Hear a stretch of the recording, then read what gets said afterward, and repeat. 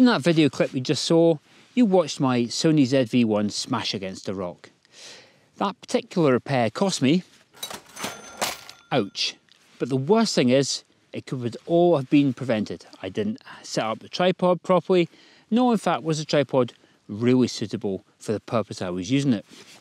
That's why now I've got one of these, a K&F concept tripod. So in the video, I'm going to be talking about the tripod and I'm also here at Beardown Tor to take some landscape photographs. Welcome to Dartmoor.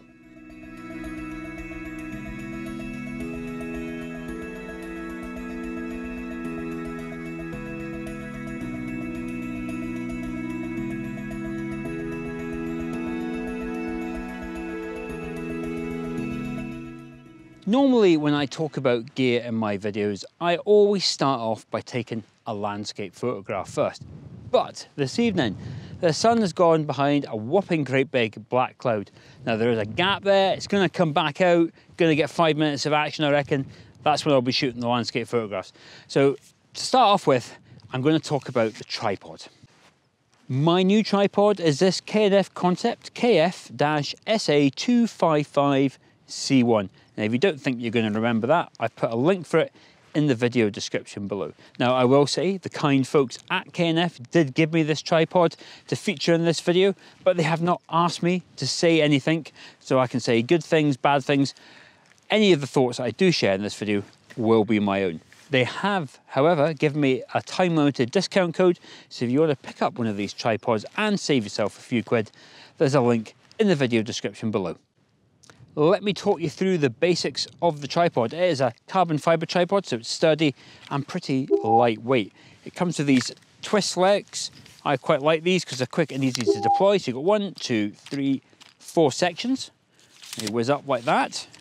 Also, handy little feature, possibly not one that I'd use, but if you unscrew this, it becomes a monopod or even a walking stick. You can put on the, the ball head that comes with it on top of there as well, or just screw that back up. The angle of the legs are also adjustable.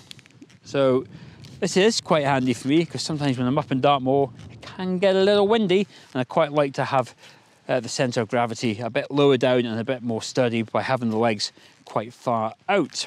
Another way I can make the Stability improve is it's got a hook off its center column so I can hang my bag off there as well. This center column also comes out and reverses down so you can put your camera down there if you want to get some low to the ground shots. Uh, what else? You've got a ball head, it's got a standard fit in there at the top and I'll talk a little bit more about that in a second. It is a ball head so that moves about. It's good, good smooth action and the head rotates around 360 degrees so if you wanted to do a panoramic. Fits my needs rather nicely. Let's talk about attaching cameras to the tripod head.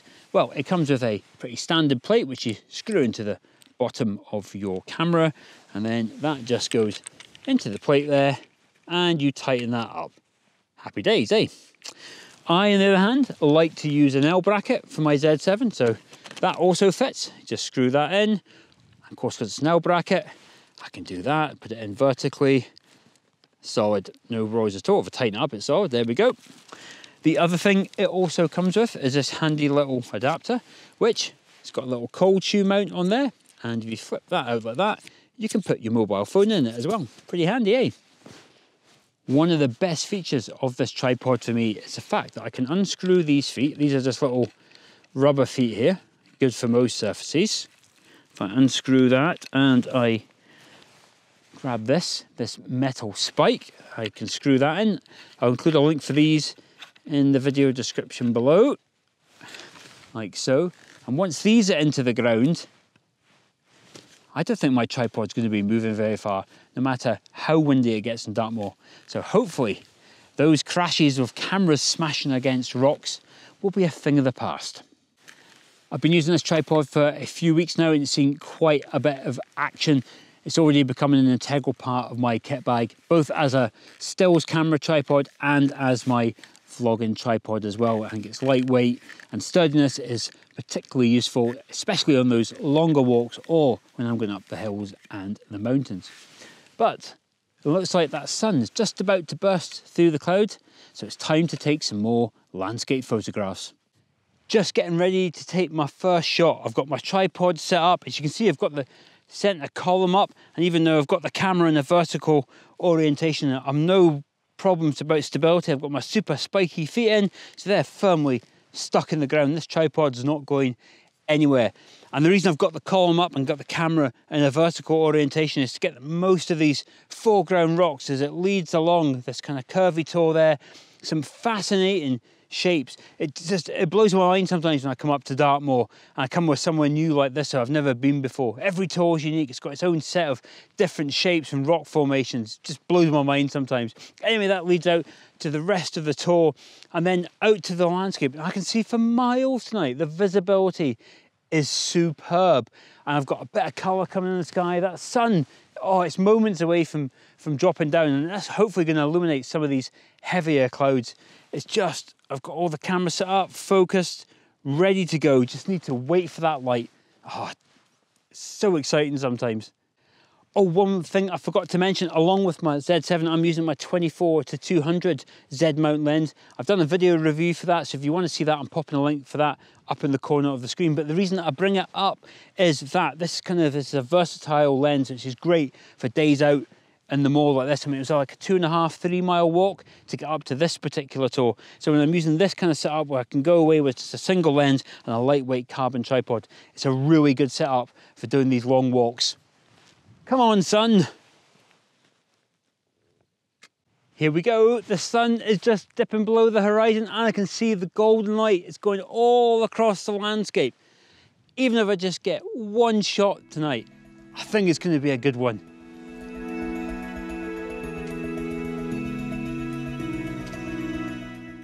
Fantastic.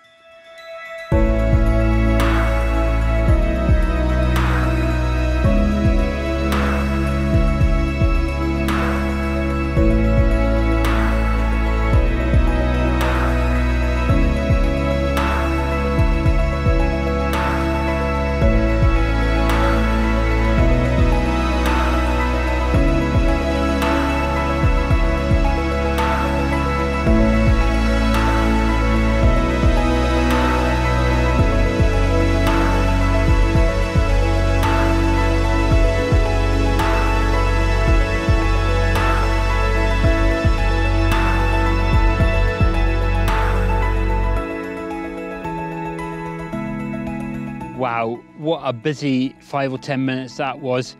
The light was everywhere. It's just, sometimes you just get these moments, you just get this really small gap and you just have to run about picking out compositions, taking your photographs.